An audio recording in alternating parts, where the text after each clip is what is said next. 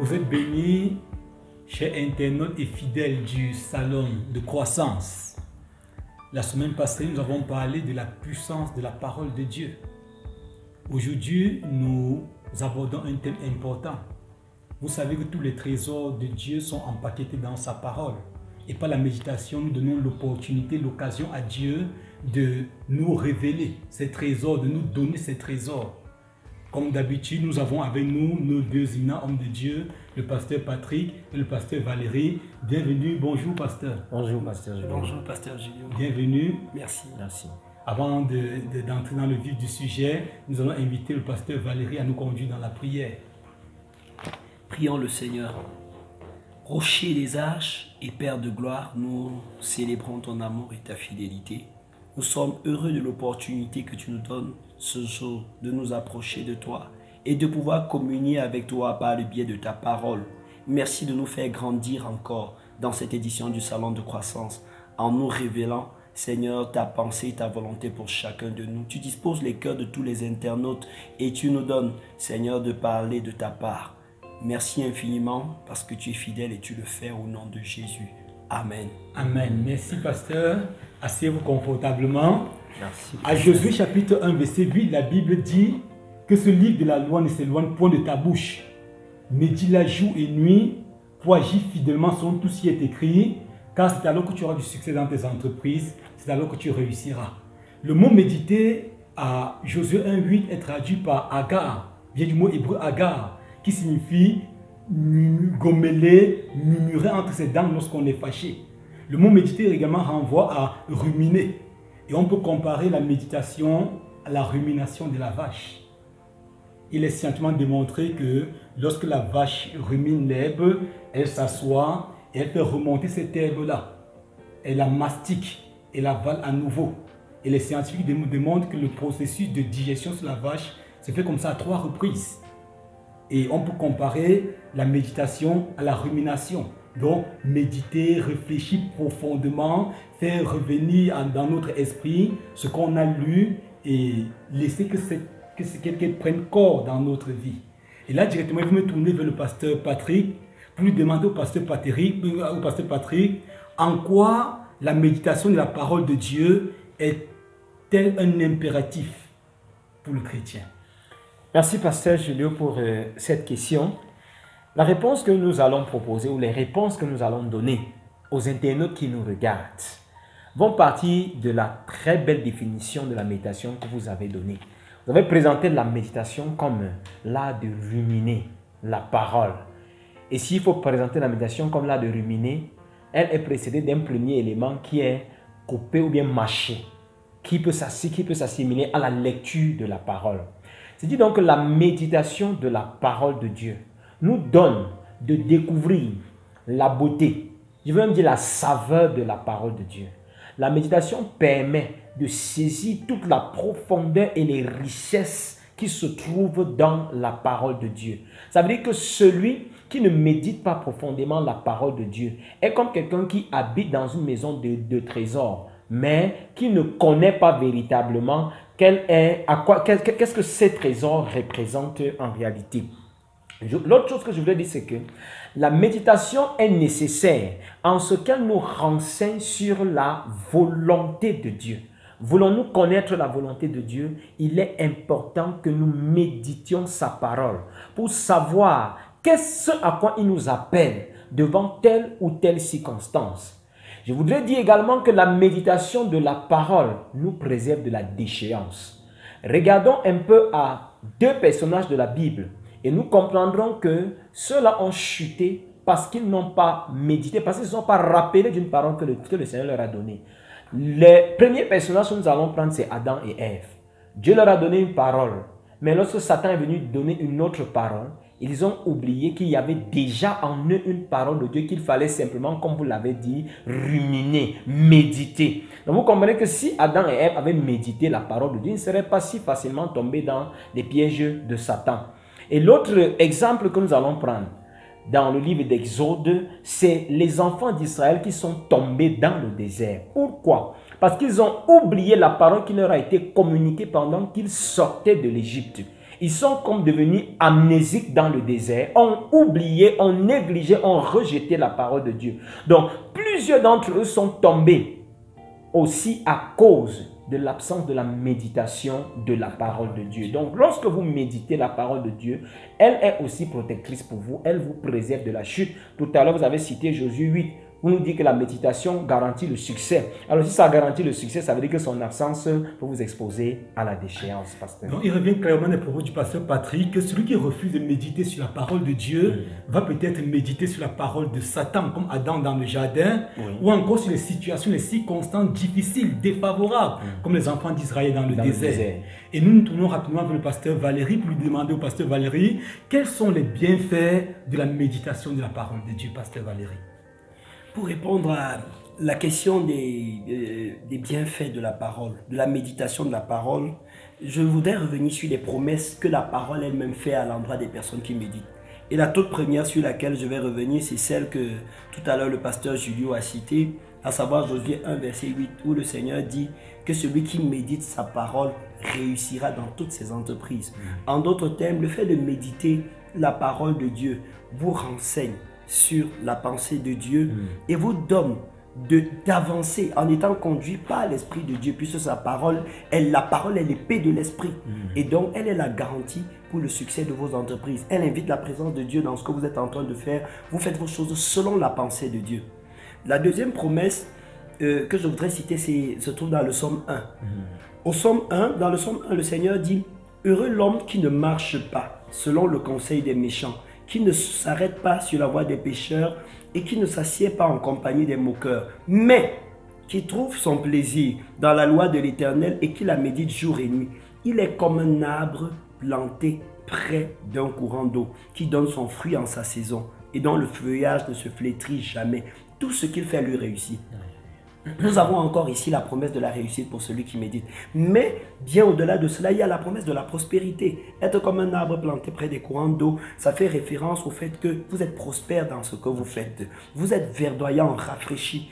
Et la prospérité ne parle pas seulement des questions financières, même la prospérité émotionnelle qui vient du travail que la parole de Dieu fait dans notre âme.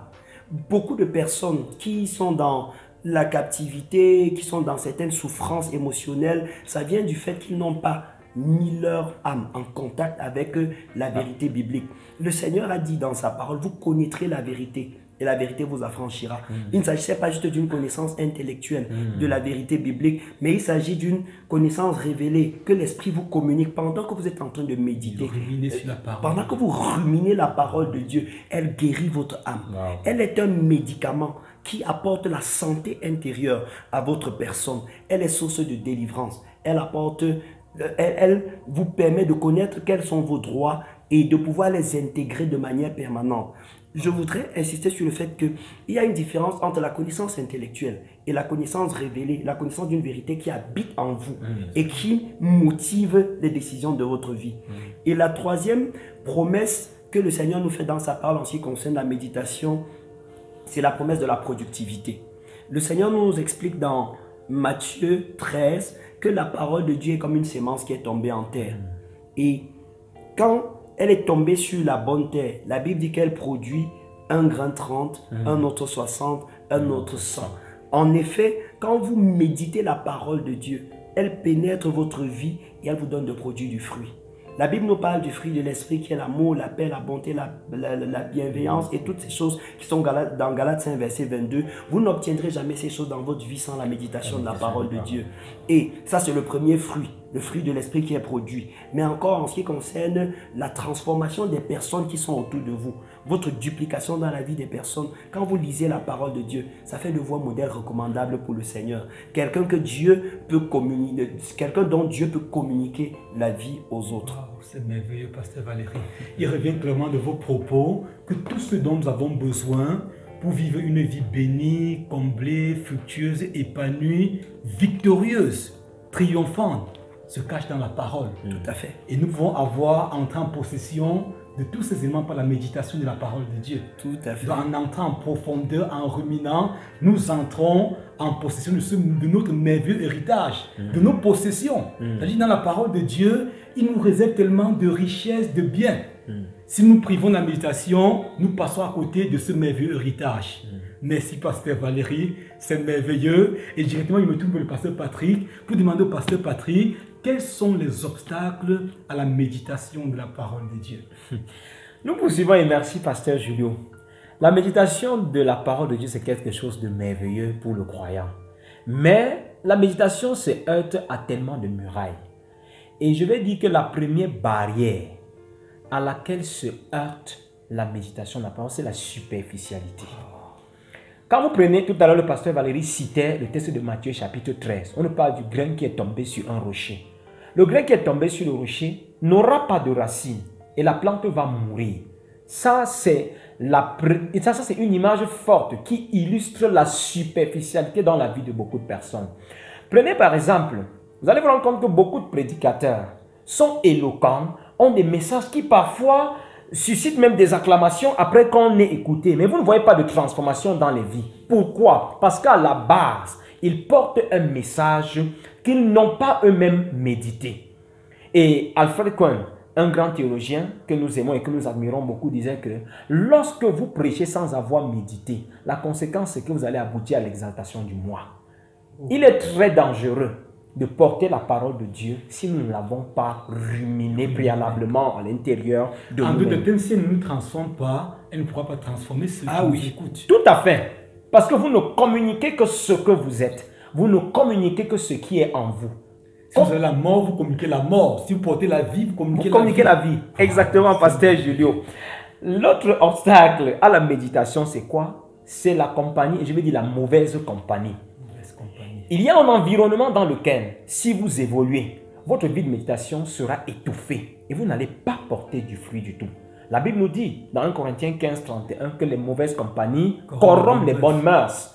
Et vous avez vu tout à l'heure, quand le pasteur Valérie lisait le texte du, du Somme 1, lorsqu'on parle de ceux qui s'assiedent en, en compagnie des moqueurs et autres, il s'agit de qui? De ceux qui ont élaboré des théories vis-à-vis de la parole de Dieu qui s'oppose à la volonté de Dieu.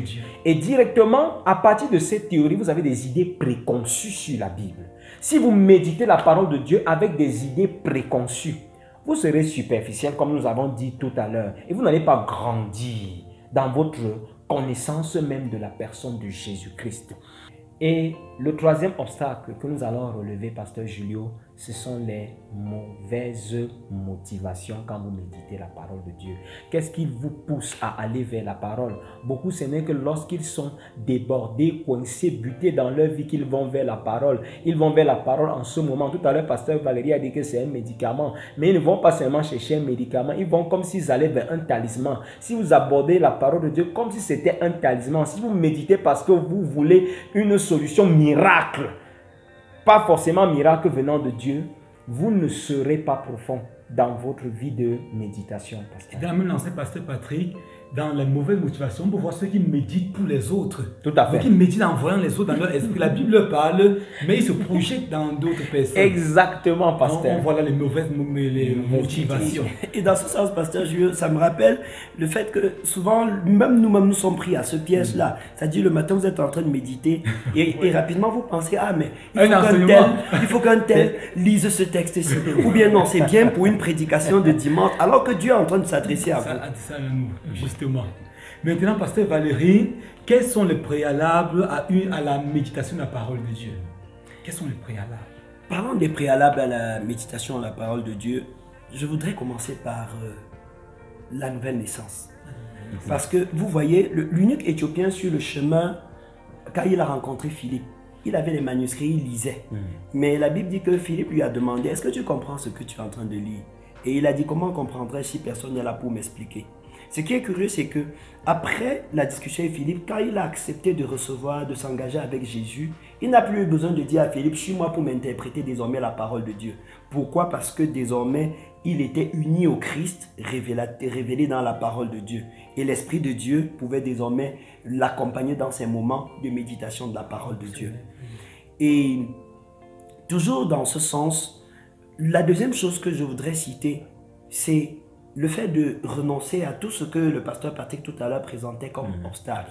Vous ne pouvez pas aborder la Bible avec la pensée des scientifiques qui trouvent que la Bible est un livre ordinaire comme tous les autres. Un livre qui a des erreurs. Un livre qui a des erreurs et tout. Et vous vous attendez à ce que la parole qui est à l'intérieur vous bénisse. Vous aurez beau la consulter régulièrement, elle n'apportera aucun changement à votre vie. Vous devez aborder la Bible comme étant la parole de Dieu elle-même. Vous devez vous soumettre à cette parole, accepter la seigneurie de la Bible au-dessus de vos idées, au-dessus de vos pensées. Et la troisième chose, c'est la foi. Parce que sans la foi, on ne peut être agréable à Dieu. Si vous ne vous attendez pas à ce que Dieu vous parle dans la méditation, vous ne recevrez rien de lui. Il est bien de vous approcher de Dieu dans sa parole en croyant, en ayant des attentes, en croyant que Dieu va vous dire quelque chose, que vous allez obéir et que cette chose va vous bénir. Voilà quelques préalables que nous pouvons présenter en ce qui concerne la méditation de la parole Donc de Dieu. quiconque va s'approcher de la parole de Dieu va laisser que la parole de Dieu, le pouvoir, la seigneurie, l'autorité de la parole de Dieu régner sur sa vie, s'établir sur sa vie. Tout à fait. Merci pasteur, merci pasteur. Et maintenant, directement, pasteur Patrick va nous dire comment méditer la parole. Comment méditer la parole? Moi, je, je- je crois que c'est ce que beaucoup de nos internautes attendent, qu'on sorte en leur présentant. Comment est-ce qu'ils vont désormais faire pour s'habituer à cet exercice glorieux qu'est la méditation de la parole. Je voudrais dire que pour que votre vie de méditation soit profonde et fructueuse, vous devez être un amoureux de la Bible. Il faut d'abord aimer la parole de Dieu, pasteur Julio. Vous devez aimer la parole, savourer la parole de Dieu comme un délice. Ça, c'est le premier pas à effectuer lorsque vous voulez aborder la méditation de la parole. Vous devez également, quand, pour, dans, dans, votre vie de, de méditation, vous équiper pas seulement spirituellement, mais vous devez avoir des documents qui vous renseignent. Et parlant des documents qui vous renseignent, il y a tellement de sociétés bibliques, des associations des frères et sœurs dans le Seigneur qui produisent des manuels pour accompagner les nouveaux Donc, plusieurs convertis. versions de Bible. Nous avons des versions de Bible, nous avons des guides de méditation recommandables, parce qu'il y a des guides qui ne sont pas recommandables, il y a des guides recommandables que nous pouvons inviter nos internautes à parcourir pour leur édification. En plus du matériel, vous devez également accorder du temps, réserver du temps à la méditation de la parole. Vous devez avoir un temps où vous vous disposez, vous vous consacrez pleinement à la méditation Parce qu'il arrive que les personnes parfois méditent la parole en courant. Ils sont très précis, ils font une simple lecture. Or, la méditation va au-delà d'une lecture, au-delà d'une simple étude. Tout à fait, pasteur Julio. Il est dangereux de faire la méditation de la parole de Dieu à la va-vite ou bien comme si c'était un exercice qui vous était imposé. Il y en a qui méditent simplement parce qu'ils se sont déjà dit, de manière traditionnelle, quand je me lève le matin, je vais méditer. Et du coup, quand le matin, il se lève, il n'a pas eu de temps rapidement, là, en 5 deux, deux minutes, il faut que si peut-être entre frères et sœurs qu'on dise qu'il a médité, qu'ils disent, euh, j'ai aussi médité. Je vous Là- sa conscience que j'ai quand même médité aujourd'hui. tout à fait, Pasteur Julio. Et la dernière chose que nous voulons dire, c'est que pendant notre méditation, nous avons un conseiller, nous avons un enseignant, un pédagogue qui s'appelle le Saint-Esprit. Laissez le Saint-Esprit vous guider pendant que vous méditez, vous méditez la parole de Dieu. Sinon, votre méditation ne sera qu'un acte intellectuel. Alors qu'il faut que la parole que vous avez intellectuellement lue soit gravée dans votre esprit et c'est le Saint-Esprit qui se charge de cette Donc, parce que Patrick, la parole de Dieu, sans le Saint-Esprit, est une lettre morte. C'est une Elle lettre est lettre morte. Tout à fait. C'est le Saint-Esprit qui communique la vie à la Qui parole. communique la vie à la parole. Et, et même pasteur Julio, je voudrais, dans la suite du pasteur Patrick, euh, encourager les internautes à avoir le matériel de notes. C'est-à-dire, en plus de la Ah, Bible et d'autres versions, Tout à fait. je m'attends à ce que Dieu me parle. Il faut que je prenne au sérieux ce que le Créateur, qui est mon Père, va me dire dans le moment d'échange que j'ai avec lui dans la méditation. Donc j'ai un euh, du papier pour noter, j'ai un stylo, les stylos de plusieurs couleurs, ou encore je peux avoir mon téléphone où je Pourquoi pas un cahier carrément, Pasteur Valérie Pas un cahier. Pour noter tout ce que nous sommes en train de recevoir du Seigneur. Et comme la méditation peut souvent déborder le temps, c'est-à-dire toute la journée, l'esprit- le texte est présent dans mon esprit. Si en journée je reçois quelque chose, que dans mon rendez-vous dynamique avec Dieu le soir, que je puisse revenir dans mon cahier de notes et mentionner ce que j'ai reçu du Seigneur. Gloire à Dieu, nous bénissons le Seigneur pour tout l'éclairage que ses serviteurs nous apportent au sujet de la méditation de la parole. Et nous nous tournons vers nos internautes pour nous dire, vous pouvez ram- ramasser des cailloux, des herbes à la surface du sol. Mais si vous voulez trouver du pétrole ou de l'or, vous allez aller en profondeur. La méditation consiste à aller en profondeur. Prenez du temps, comme les pasteurs nous l'ont dit, prenez du temps pour sonder les Écritures, pour comprendre ce que Dieu nous révèle. Prenez le temps, la méditation ne s'arrête pas une fois que vous avez fermé votre Bible. C'est que lorsqu'on ferme la Bible que la méditation commence. Tout au long de la journée, Faites que ces paroles reviennent dans votre esprit. Posez-vous des questions et cherchez à comprendre qu'est-ce que Dieu me révèle, qu'est-ce que Dieu veut faire? Laissez que ces paroles transforment, entreprendre la totalité de votre être. Que votre parole, votre vie en d'autres termes, devienne cette parole-là. Bien-aimés, chers internautes, appropriez-vous la parole. La Bible, c'est la parole de Dieu. Et la méditation, c'est le plus grand moyen pour entrer en possession des grands trésors divins. Que le Seigneur vous bénisse abondamment.